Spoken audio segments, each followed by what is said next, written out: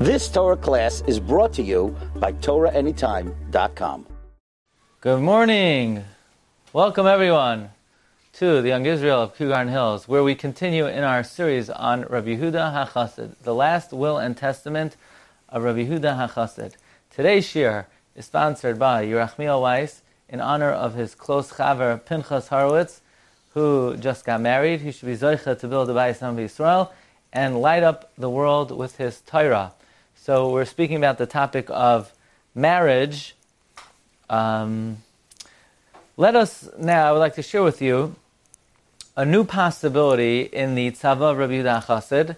Uh, it's quite a novel possibility. It is not a possibility that any of the poskim entertain, but uh, a friend of mine in Florida who works on uh, publishing manuscripts of Rishonim, Zachariah Holzer, um, shared with me an idea that he had in the Tzava Rabbi Chassid. So I'm going to share it with you, and uh, maybe we'll examine it. It's clearly not an idea that is discussed in the Paiskim, uh, possibly because they didn't have access to all of this information. Okay, be it as it may, the Rosh, the Great Rosh, where did the Rosh live? The Rosh started off in Germany as a Tam Marami Rothenburg, but he had to run away when Maram was uh, died in prison and then he comes to Toledo. Yeah? Toledo. In fact, if you look in the Magid Mesharim of the Beis Yosef, of the conversations he had with the Malach, the Magid Mesharim, uh, the Malach refers to the Rosh as Asher Kadishi, the holy Asher, the Rosh. See, people don't know where the expression holy Toledo comes from. So now you heard it here first. The Rosh, who is known as Asher Kadishi, lived in Toledo, and therefore Toledo is a very holy city. Okay, but the Rosh says uh, quite an interesting uh, concept at the end of Pashas Achrimais. The Rosh tells us a historical uh, fact that we know that uh, not only is one allowed to marry their niece, again, according to the Torah, Yehuda Chassid forbid it, but according to the Torah, not only is one permitted to marry their niece, but the Gemara says in a number of places it's actually a great mitzvah to marry one's niece. Uh, for example, the Gemara in Yevamis on Samach Beis Beis and the Gemara in Sanhedrin Ayin Vav Beis says it's one of the four mitzvahs that if somebody performs, they will call out and Hashem will answer them immediately. Okay? Remind me to tell you about the Gedolim who did in fact marry their niece. Okay? Um, so I want to tell you about that today. So, but um, the Mishnah says, uh, the Gemara says, a great mitzvah to marry one's niece. Rabbi Yehuda Chassid forbid it. However, even though it's a mitzvah to marry niece, to, are you allowed to marry your aunt? No, it's uh, one of the arayos. So the Rosh brings down, Amash moinin umevaishin oisanu ha'umais, that which the nations of the world afflict us and embarrass us. How do we? How can we marry our relatives? The daughters of our brothers and the daughters of our sisters. In other words, the Goyim say you're hypocritical. You, the, your Torah says marrying your aunt is an arayas, and you go ahead and you marry your, your nieces and nephew, right? Your, your nieces. And apparently, the Rosh is saying this is something that in the Christian world, again, the Rosh is living in uh, Germany and Spain, this is something they, they poked fun at us. They said, You don't keep your own Bible. And the Christians were very makbid not to marry their nieces and they bothered us. Why do you violate your own Bible? So the Rosh says the answer is very obvious. Hashem told the Bnei Tzelafchad to marry Bnei Dodehem. We find the Nevi'im, Kalev gave his daughter to who? Asniel, his brother. Says Achiv. So the question is, how is this permitted? So I'm going to tell you a secret now. Do not repeat this at home. Do not repeat to your wives. And obviously, there are probably only men listening to this. And uh, don't spread the word. Because if, if it gets out that I said this, you know, I'm a rabbi in the five towns, you know, who knows what's good. Anyway, so the what is a wife? What's the job of a wife? Says the Rosh, the job of a wife is to service her husband. That's the job of a wife. To, to feed, to take care of, the job of the wife, says the Rosh, is shenitna ha'ishal ish l'sharsai. The job of a woman is to serve him. And that's the honor of a woman to service her husband. Isha kshera oisin ritzain bala. So now here's the thing. You know why you know how to marry your aunt? It's a lack of kibbud of a. In other words, what the Rosh wants to know is what's the difference? Why you now to marry your aunt and it's a mitzvah to marry your, your niece? Says the Rosh, very pashat. You're now to marry your aunt because the job of a wife is to service her husband. If you're going to be having your aunt service you, it's an embarrassment to your father. It's not kibbud to your father. Your father's sister is going to be cooking you a, a dinner and cleaning up. It's not nice for your father that his sister should be servicing you. It's a lack of honor and respect to your father. Masha'in Cain. If you marry your niece, so for her, it's an honor to her father that she's servicing his brother. So it's a very pashut distinction. You're not to marry your aunt, it's a lack of kibbut avayim. It's a mitzvah to marry your niece, that's a fulfillment of kibbut avayim. That's the pshat of the Rosh. So, um, Rabbi Holzer suggested, but let's look at the Rosh's question. The Rosh is addressing not just the question, but he's pointing out that the Goyim poked fun at us. They instigated, they, they mocked us. You don't keep your own Bible. So is it possible then that Yehuda Chassid was not issuing his admonitions out of some kind of spooky rationale or supernatural he's saying just uh, just very common sense, very practical, that if you're living in a Christian world, it ain't a good idea to do what seems to be an open violation of the Bible. Don't marry your niece because they're going to be mocking you. Now, again, clearly the Poskim did not understand that this this way. In fact, Rav Ovadia in a tshuva, Rav Ovadia. Now, I'll, I'll point out that he also mentioned to me that in the Christian world, two brothers can't marry two sisters. I didn't, you know, I didn't check that up. But but may, is it possible then that some of these admonitions, which to us a thousand years later seem to be, you know, heebie-jeebie, could be just practical considerations living a thousand years ago in Germany. You know, in Germany they had different philosophy in general. There are certain things that we find in the uh, Rishonim of Germanic origin. For example, the concept of Chuvas Hamishkal. Shuvas HaMishkal is for every Avera, there's sort of a list of how many days you need to fast, how, how much you need to afflict yourself. This is a concept that's found in the Rishonim from Germany, Shuvas HaMishkal, that you sort of weigh the benefit you got from an Avera and you equally afflict yourself. We don't do this anymore. But they, they lived in a very ascetic society. Another, uh, another example, you know, we once mentioned the fact uh, the Rabbeinu Ephraim writes that Binyamin was a werewolf it was a different society there. In, but be as it may, uh, is it possible that these, this is part of the rationale for Rabbi Yehuda Chassid? Again, it's not assumed that way by the Paiskim, but it's an interesting idea. But by the way, once we're on the subject, I'll share with you um, a comment of the of Chazal in in the Sifra in the Toras Kohanim, and we'll ask you a question. So you're passing by McDonald's or Burger King or KFC. Ugh, yeah, disgusting. Uh, egg, you know, ham and eggs, uh, um, cheeseburger. Despicable. How could you mix the two to have dairy and what a kind of disgusting. Uh, or should you not say that? In fact, Chazal say, don't say that. The lashon of Chazal that Rashi quotes is, "Minayin shelo adam nafshi katsa b'basar chazir efshi lubosh klayim Aval yoimar efshi uma'esev avi shabashmaim. God, you should say, there's nothing smells as good as ham and cheese. There's nothing that, that feels as good as Hugo Boss full of shatnez. There's nothing that looks as good. But what could I do? God told me not to do it. So from here we see that Chazal say you should say, I would like to sin, but what could I do? God told me not to do it.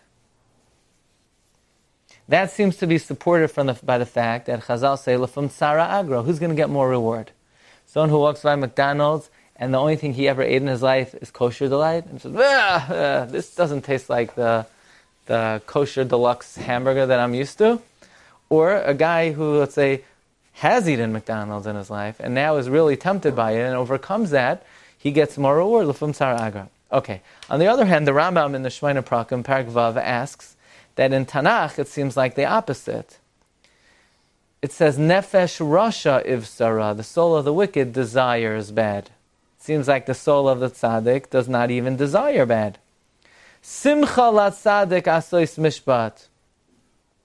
It's a joy for a tzaddik to do the right thing. What do you mean? No, it should be difficult for a tzaddik to do the right thing. So from Tanakh, it would seem that someone who's able to make it that he doesn't even want to sin is on a higher level.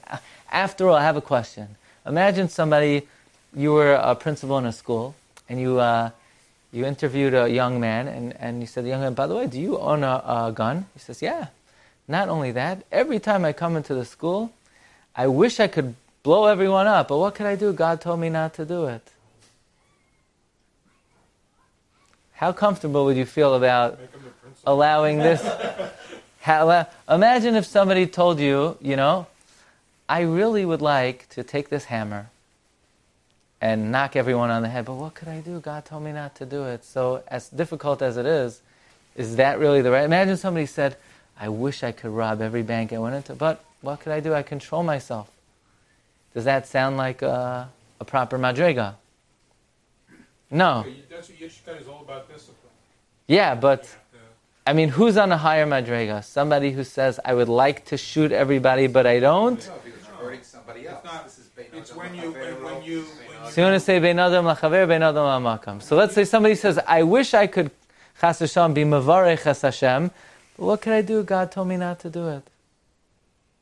We're not talking about Is that that a proper thing to do? When you when you don't do some normative behavior because Hashem told you not to do it, Mm-hmm. that's a sign. You you know you know who's uh, running the show here. Mm-hmm. But when you try to say, uh, you know, I'm, I'm not doing some non-normative Ah. behavior. So the Rambam says it depends what type of mitzvah we're talking about.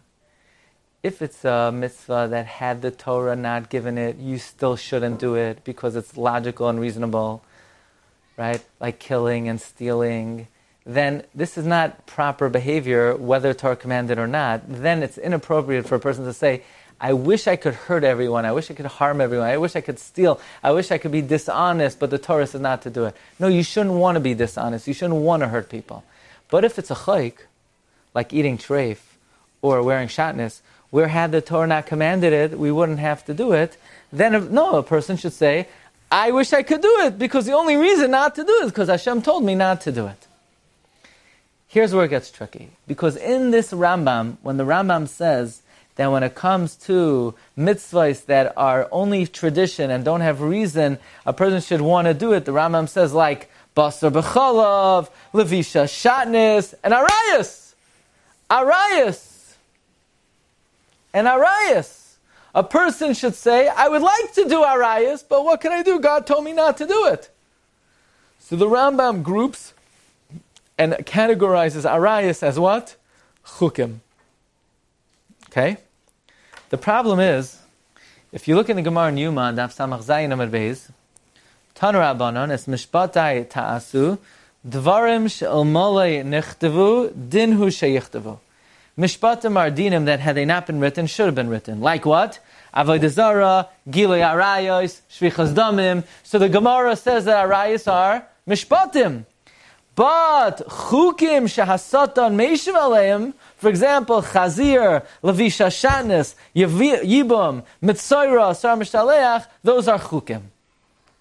So the Rambam's against the Gemara because the Rambam categorizes arayas in the category of basar v'chalav and shatnez, and the Gemara categorizes arayas as something that had the Torah not written, it, it would have been also like avodah zarah and shvichas damim.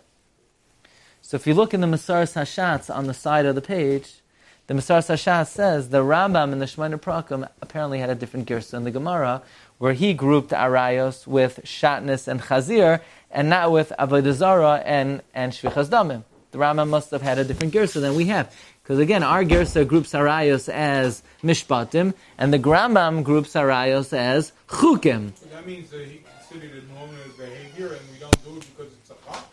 That's hard to Yeah. imagine. Meaning, b- before the Torah was given, the Jews lived with Arayos. Amram lived with his aunt.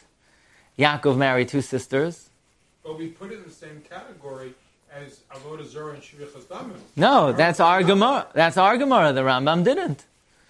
The Rambam felt it was a chayk. The Even Rambam. though it's Ya'aran Yavor, he's still only Yeharag Val Yavar after the Torah was given, but before the Torah was given. Okay. So I once heard from um, Rabbi Yonasan Sachs, the Rav. Oh, so the Maharsha wants to say that even though they're chukim, what the Gemara means is had the Torah not written it, it would still been usr, it would have been usr as the Sheva mitzvahs. That's what. That's how you could answer the Rambam. That that's the Gemara doesn't mean it's a reasonable, logical mitzvah. The Gemara just means had the Torah not written it, it would have been usr as the Sheva mitzvahs. That's what the Maharsha says. There's an interesting um, Rashbatz on Pirkei Avos who quotes over this Rambam, and the Rashbatz says that when the Rambam says that uh, Arayos is a choik, he says, you know what type of Arayos we're talking about? We're talking about Lisa Achoisai. Lisa Achoisai. What does that mean, Lisa Achoisai? There are different types of arayos. There could be some arayos are chukim, and some arayos are mishpatim. Marrying your sister. Why can't you marry your sister? Because you're not hurting anybody. You're not harming anybody. That was why came out. Why are you not to marry your sister? The answer is because the Torah said so. It's a chayk. That type of erva the Rambam categorizes as a chayk. But eshes ish, a married woman, that's a, a, reasonable mitzvah. You're harming someone else. She's committed to somebody else. She's already taken. That's stealing. That's the highest form of stealing. That the Rambam would agree to the Gemara in Yuma that that's considered mishpatim. So now, marry your mother if your father passed away. now we could have said what? You can marry your mother if your father passed away. No, you can't. No, because but it's a chayk. It's a chayk. it- Nobody would say yes. That, that's a chayk. Yeah. Now, um, we could have said, had it not been for the Rosh, that another example of where Arayos is a chayk is why can't you marry your aunt and you could marry your niece? That would be another way to answer the Rambam. That normally Eishas Ish is a mishpat. But the fact that you're not to marry Daidasa and you are allowed to marry Bas Achiv, that's a chayk. What's the difference? There's no difference between an aunt and a niece. According to the Rosh, it's not a chayk. According to the Rosh, there's a very clear rationale why you're not allowed to marry your uh, aunt and you are allowed to marry your niece. So be it as it may, the Tzava Rabbi Yehuda Chassid came along and said one should not marry their niece.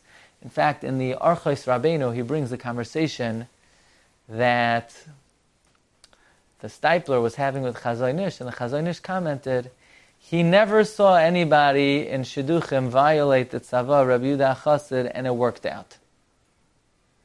In fact, I mean, every time that they did, it didn't work out. He never saw it work out. Correct. It never worked out. In fact, um, there's a particular scenario which, um, let's read it right now. Let's read it right now. There's a particular scenario, number? number 61. Number 61.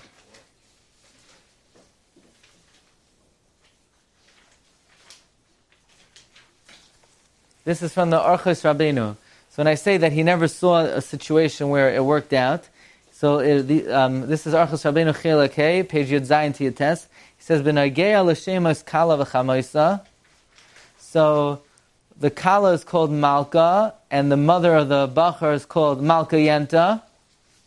In other words, that's not just what her daughter-in-law called her. That was her name, Malka Yenta. You know, so her name was Malka Yenta. So the problem is she's just called Malka. So the Stipler said, L'chayr, it's a different name, but still, since they only call her Malka, the Iker name is the name they call her. So said the Stipler, if the Shidduch, if everything is uh, good on paper and they like each other, the Kala should add a name. For example, Sarah Malka. And she should be called this name 30 days before so that it becomes uh, well known that this is her new name. Another scenario, they asked, their both their names were Malka, and the Stipler said better to name name the Kala Esther Malka. But I- I- Sarah Malka is okay, but he he says the name Esther Malka goes better. When you do that, if, let's say Malka, she was named after our grandmother, Too bad. and now you call her Sarah Malka, isn't that bizayon to the grandmother? Yeah, she'll get over it. Grandma's happy she's getting. Yeah, at least she's been waiting for this chasa for a long time. And if one of them is called Malka and one of them Malke, that's also a difference. That's also a difference. Okay. Next case, they asked Rav Shach. There was a woman named Zahava, and the mother-in-law is Golda. Is that a different enough name? For sure, right? Because we're all big Gedolim and Paiskim. So Rav Shach said he didn't know. And he said to ask the Stipler. And the Stipler said he the Stipler agreed with you, and he said that the, the, one of the main concerns is that you don't mix up the mother-in-law and the daughter-in-law. You're not going to mix up; they have a different name. Fine. Next case. It was 14 karat the other was 18 karat gold. There is a chasana.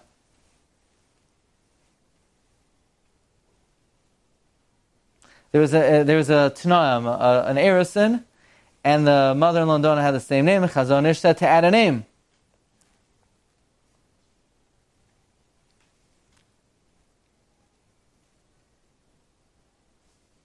Then he brings over here the Stipler said the name of Chazonish, and the Chaim, and they heard the same name of Chaim Brisk. If the mother and daughter have the same name, one of them should add a name. What about taking away name, Rabbi? What if they were both One second. Malka? And the name should be called they should be called the new name and the old name together. And then they could get married. Are you allowed to take away one second one second. Yeah, let's say both Sarah Malka, and you take away one, now you call her Malka, the other one is Sarah Malka. then Reb Chaim Kanievsky said in the name of the Chazanish, that if the two of them have the same name they don't live in the same city it's okay then here's the next case this is what I was trying to get to Reb Chaim Kanievsky said over the following scenario daughter-in-law and mother-in-law from England, they have the same name. And they asked the Stipler, and the Stipler said the Kala should add a name. And they added it. A little while after the marriage, the Chassan Nebuch came, uh, came down with a dreaded illness. And he was dwindling and dwindling mamish, sakanas nefashos. And the, um, they, they phoned the Stipler to daven for him. And every, between each phone call, the, the situation of chassan got worse and worse and worse.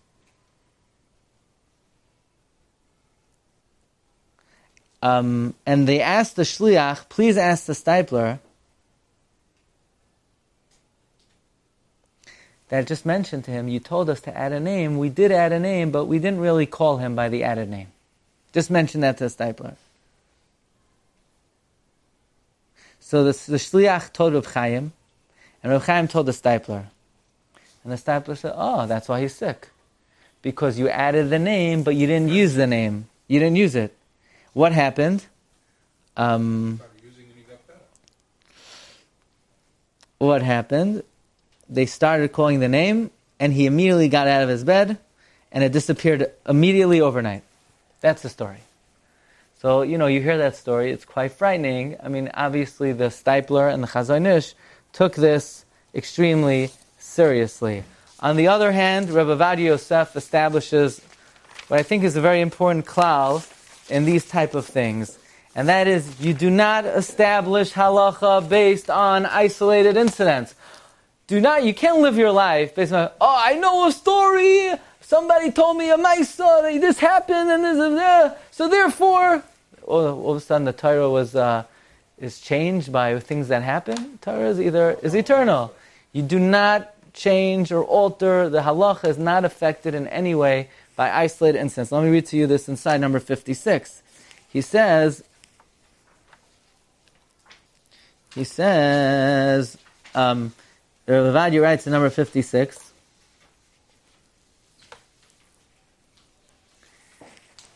and we're, we have to come to this because uh, in Rav Ovadia is talking about in Egypt, where they didn't know Bechlal about the Tzava Rabbi Dachas, and it was common for brothers to marry sisters and uh, other kroivim that, that are mutter. So the the Rav Ovadia brings down a fifth line, Rabbi Gon, Rav Rachamim Chaim Yehuda Yisrael, Abezin of Drodos, writes, that in his city nobody cared about it until one Chacham came and he told people about it, and he told about Yehuda Chassid, and the minog was Pasha Li Zohar. And basically, the Rav HaMachaber who quotes this says that's the correct thing because he knows of a chassan who had the same name as his father-in-law, and he died immediately the next day after the chassan. So you see, it's a serious thing. Says Rav Ovadia, and this is uh, words you have to be very courageous and and um, brave posik to say. Says Rav Ovadia, has daiti betoiv yolen mar Rabbi Chai Yisrael. Basic Chaim Yehuda Yisrael, meaning he should rest peacefully in his grave. But says Rav Ovadia, Ein lilmoid mi mikra yechidi lelamed al kalkulai. Just because somebody got involved in a shidduch who violated Rav Yehuda Chassid and he died on the spot, does not indicate in any way that you're not allowed to do it or anybody else should refrain. What, is it, what does that have to do with halacha? You have to examine the halacha from an objective, rational basis based on the halachic principles, and stories that happen in no way affect what the correct thing to do is. He says, um, uh, we'll read this a different time, but especially nowadays where the shidduch market is limited and people have a hard time finding their zivug, we're not going to scare them off, and especially they don't know about the tzava Rabbi Chassid, tell them about it. So let me tell you two stories, now that we said that stories don't mean anything. The Nitziv, the Zivug Sheni, who is the Nitziv married to? The Nitziv was married to the Aruch HaShulchan's sister. And when she passed away, he took, the Aruch HaShulchan had a son named the Torah Temimah. Tartamima's sister, his niece, the Nitziv, married his niece, the Bezivik Sheni. The Nitziv. Gadol Hadar. Tell you another story. Imre Emes. His first wife died. Who did he go out with in a second? His niece. She said, Is this a good idea? He says, I promise you children. And Kachava, the Pnei Menachem, was the, was the son of the Imre Emes from in Zivik Sheni, from his niece. So many great Gedolim from both spectrums, Litvish, Hasidish, did not concern themselves with the Sava of Rabbi Yehuda Chassid. What about it? What? Oh. I hear, I hear, but it's a situation of Zivik Sheni where, uh, where they were going to have children, not just, you know, Zivik Sheni as a, yeah, yeah, true. Tell me a story. That's, yeah, you don't take away names. You don't take away names. In order to, in order to be able to. You allowed to? Different. It's not done. I think it's usher, but it's not done. Okay, so um, be it as it may, so it's an interesting possibility in the Rabbi Huda HaChassid. Would Rabbi Vajas say differently if there was a distinct pattern? No, Here you had a Misa where the husband died right away. No, it's not going But if you had, you know, three, four, five situations like this, it wouldn't make a difference then. No, you don't pass in halacha that way. Uh, we'll, we'll end off with one uh, uh, very interesting thing. In the Masores Moshe, in the Masores Moshe, which are the sort of the minhagim of Rav Moshe, and different practices of Rav Moshe, here he brings down, remember we, we uh, Rabbi Yehuda Chassid said two brothers are not to marry two sisters. And one of the questions that the Noda B'Yehuda raised on that was based on the Gemara in Brachas Mem Daled, that 80 Kohanim brothers married 80 sisters. And uh, so the following story came to Rav Moshe. First of all, let's go to number 62. First of all, Rav Moshe got a shaila. A woman had the same name as a mother-in-law, but they had different English names. So they asked Rav Moshe, is that okay? Rav Moshe said, that's fine. And then Rav Moshe quipped to the guy sitting next to him, you see what kind of ridiculous people questions people ask today? People want to know about Sava Rabbi Huda Chassid. Who to give tzedakah money to, where to send the kids to yeshiva. That nobody's asking. What do they want to know about the Tzava Rabbi Huda Chassid? But then um, there were two brothers married to two sisters, and a third brother wanted to marry the third sister. Is that a bigger problem? So Moshe said, maybe Taka, that fixes everything. Maybe Taka, he says uh, all the way at the end of number 62, Mishu acher tziltzil va'amar Shebeis achim nasu beis achayos. Achshav ach shlishi roitza lisa achos shlishia. Now the third brother want to marry the third sister. Im yesh bazeh hakpada yiser. Is there a, a, a bigger hakpada? So the Rav Moshe laughed. He said maybe just the opposite. Maybe it cures the situation. The raya is maybe that's the answer to Naiduhida's kasha. Naiduhida said, "What do you mean? It says eighty brothers married." He says, "Right. It's just two can't, but eighty. Once you're more than two, then it's uh, everyone's a free agent." Well, what, what is the show? If it's okay for the first and it's okay for the second, what would even be the happen? Maybe it's worse as you go along. Or maybe the second one, maybe the second one didn't care. The third one did care, so he wanted to know. So apparently, Rav Moshe Shita, when it came to all of this, was that if there's any discrepancy or difference whatsoever between this scenario and the scenario of Rabbi Chassid, then, uh, then you're good to go. Okay, Rabbosai, we'll hold it over here. Shkayach. You've just experienced another Torah class brought to you by TorahAnytime.com.